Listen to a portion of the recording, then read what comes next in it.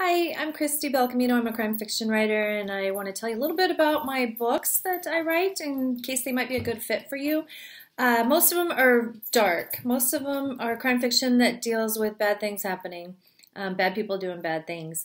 And if you have a problem with the F word, then I'm probably not something that you'd be interested in, in reading. My books probably aren't a good fit for you. Um, and if you have I guess, strong opinions about um, children, think bad things happening to children, then um, that's probably another pass for you. So let's go to the very first book that I wrote. Um, I have a series. It's called the Gabriella Giovanni Mystery Series, and the very first book in the series is called Blessed Are the Dead. Um, this was based on my own dealings with a serial killer when I was a reporter in the Bay Area. So Gabriella Giovanni is a newspaper reporter who lives in the San Francisco Bay Area, and she is dealing with a lot of stuff.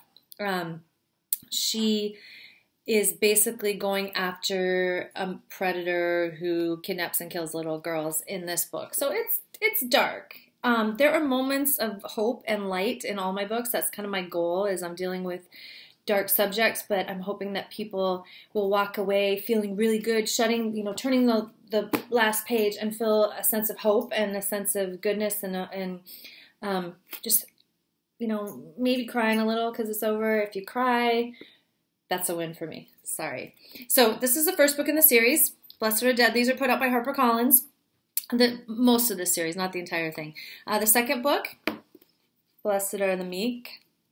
Then we have Blessed are those who weep, and blessed are those who mourn. Now, these are the HarperCollins books. I continued this series past HarperCollins because readers demanded more. Blessed are the peacemakers, and blessed are the merciful. So the series is basically complete at six books. There, I could go in and fill in like maybe a book in the middle because there is some time passage there where I could do something with it. Uh, I have no plans for that right now. But if you like that is probably um, one of my more normal characters. Gabriella Giovanni comes from a big Italian American family. So if you like uh, learning about that culture, if you like the big Sunday dinners, um, then it's probably something you might like.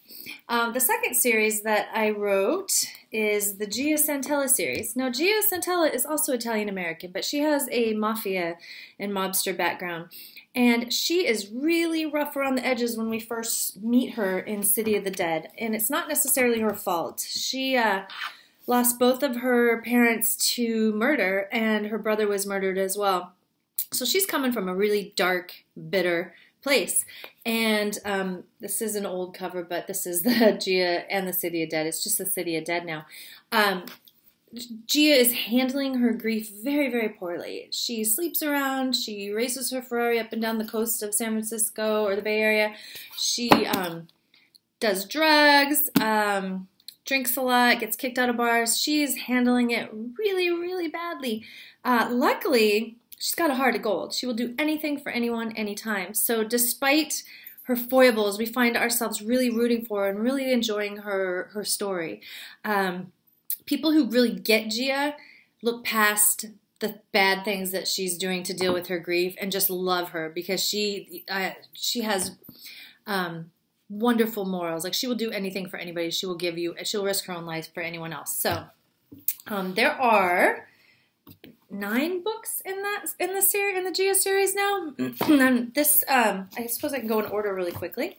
This is book two, and these covers the covers have changed, um, and you'll see the difference in a minute. Book three.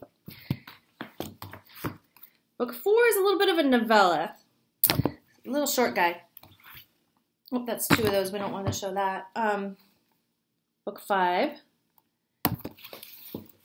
Now this was done in collaboration, in a way, with Emily Kimelman, who writes the Sydney Rye Mystery Series. Uh, Emily approached me and gave me permission to write a book that includes her character Sydney Rye. So this is about Gia and Sydney Rye basically kicking butt. Awesome. The next book is The Day of the Dead, and then you can see my covers changed, and they changed um, all of them on the ebook to this. So then this is the sixth book, or seventh, I think. I lost track. And then there's this one, Nightfall, the most recent one that came, that came out. I have another one coming out soon, but as of this moment on this video, on October 3rd, 2019, this is the most recent Gia book. And I'm sorry that they're all backward. So, meanwhile, I've also written a couple standalone books. This is um, this was nominated for a ton of awards. Actually, the Gabriella Giovanni series was nominated for the Anthony, Barry, and Macavity. This one was nominated for the Agatha, but it is not a young adult book. It can say young adult all day long on it. It is for 17 plus. It deals with things like snuff flicks.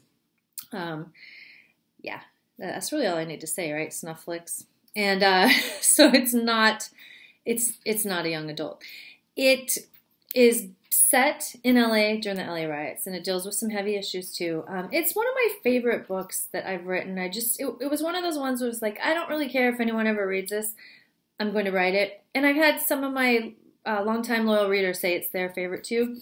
Um, it was put out by um, Paulus, Polis, I never knew how they ever say it, books. Um, so it's still available out there somewhere. I, as you can see, I have like an old library copy because I don't have that many copies anymore.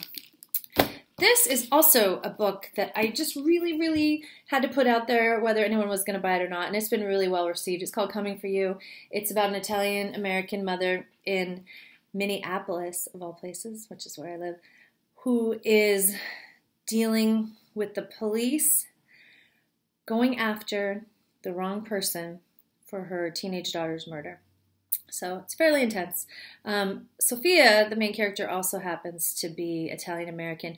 It is probably it's like a it's a big book. So if you like traditional crime stories from like traditional authors, um, you might you might really like this one. Um, it's got a little more of a literary bent.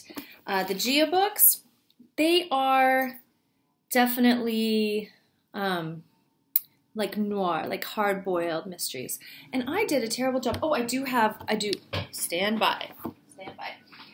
I do not have the first book in the Queen of Spades series, but I do have the second one that just came out. It's called The One Eyed Jack. I don't have all the paperbacks of all my books. Can you believe it? I end up giving them away and then I forget to reorder. Although I'm going to start stocking them because I'm selling signed copies on my website for Christmas. Anyway, so this is the second book in the Eva Santella series. She is um, an, an, Italian woman who basically was one of the first women in Italy to uh, get the honor of being a mafia boss. But then she pissed everyone off because she told all the other mobsters that she was not interested in sex trafficking. And if they didn't agree with her, they could just F off and die. So she killed a bunch of them. And they put a hit out on her life. So she went into hiding in Los Angeles. And then it gets interesting because they found her.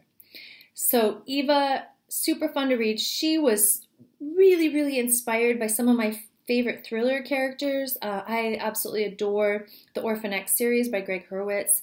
And after I read that, I said, oh my gosh, I really want to write uh, a woman, Orphan X, who has similar traits, but who's Italian American and in the mob. Like, why not, right?